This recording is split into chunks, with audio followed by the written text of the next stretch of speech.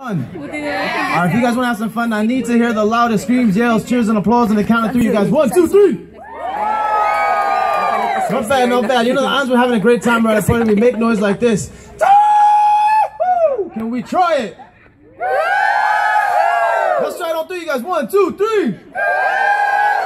Beautiful, you guys. Beauty. Now that word alone means a long goodbye, but also means a lot of love. So when you say it tonight, you're going to say it a lot tonight. You have to send some love with it. Can we try this one more time and everybody say, Aloha! Aloha! Thank you for the love, you guys, and thanks for coming out to Paradise Cove Luau. My name is Cousin Ma'eva. Can you guys say, Chief?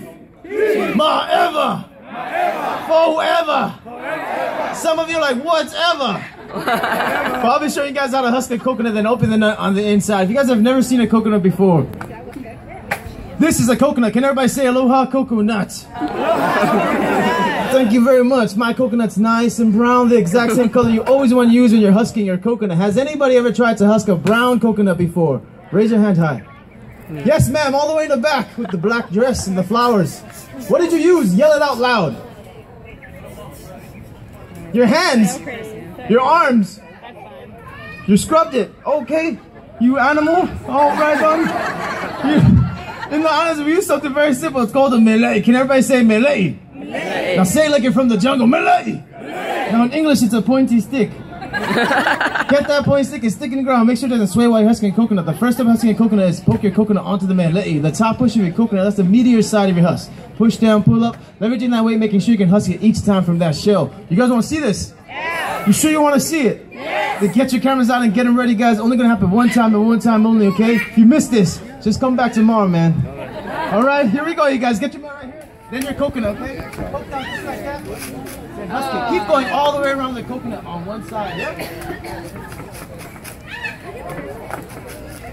Yeah, smash that coconut. Kelly. There's children here. How about a round of applause for the coconut, you guys? How about a round of applause for me? Thank you. Thank you very much, you guys. You want to get all the husk away from the coconut, see the top of the coconut. On every coconut is going to be three dots, two eyes, and the mouth. You guys see that face? Yes? Alright, between the eyes all the way to the bottom of the coconut, that's the softest spot on the shell. You always want to hit with something hard. And the islands we use are foreheads. Do you want to see this? You can say no. You sure you want to see it? All right, let me hear you. Are you ready? Are you ready? Are you crazy? In the islands, we also use something we call ma. Can everybody say ma? Let me guess what that is in English. Yeah, can everybody say the rock? I need everybody's help to count to three so we all can open this coconut together, okay? Everybody help me out and say one. Louder! Keep going. One more.